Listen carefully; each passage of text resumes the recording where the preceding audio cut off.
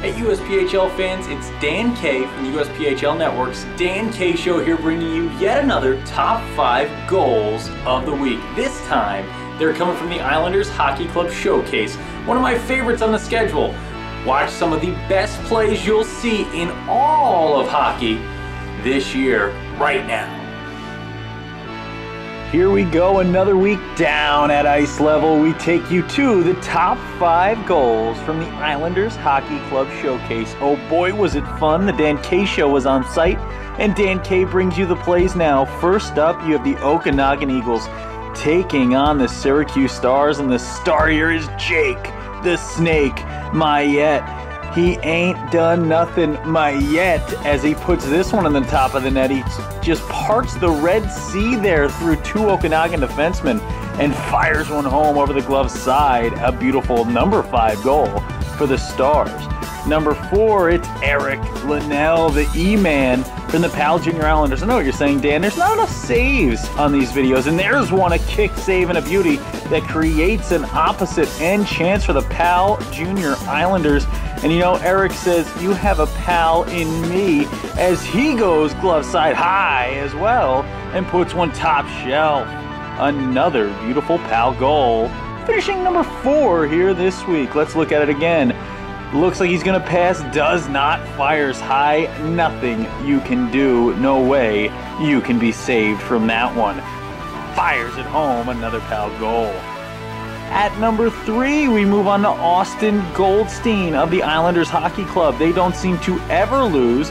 And you know what? Austin did not want them to use, lose today. The Connecticut Junior Rangers here, they take it the other way. They've been tough this year, but a turnover forced by IHC. It's kind of the uh, the theme of the show here today. You got a lot of turnovers forced. Here's a centering pass tipped home, and Austin strikes gold as he puts it top high good. A beautiful little centering pass there creates the opportunity, and Goldstein with the deflection on the run. Again, you see the turnover here. Some beautiful defense, and you know what good defense does? It creates offense. It creates chances, and that assist, beautiful tip high, nothing can be done there. At number three, it's Austin Goldstein of IHC. Moving to number two, and number two, funny thing is, it's the second week in a row he's found his way into the top five goals of the week. You know what? This guy owns showcases. It's Mr. Showcase himself. And you know what? He's always coming up grande. That's Spanish for big. And in Espanol, he says, Go! That's a king score. The Monarch, the Grande, the Michael. Michael Grande does it again. The Kings firing in some success this year. You see the beautiful dangles to get it down the ice, unable to scoop it in is the Hitman goaltender. That's a, a new commit, Mr. Tyler Harmon, and Grande with the slap shot blocker side. Booyah! That's number two. Moving to number one, and you know what? This is a number one team in my heart. For you youngsters at home, you may not know who shot JR, but this time it's JR doing the shooting as he fires home a beautiful score. You see Tristan Ramage in the shot. He was looking for a possible assist chance, possible goal chance, but nope. JR says, I'll do the shooting today.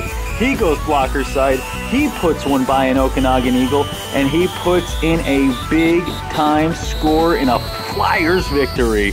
The Flyers flying high with the number one play of the week and J.R. Barone, our star from the IHC Showcase. Keep watching more USPHL videos at USPHL Network and USPHL.com.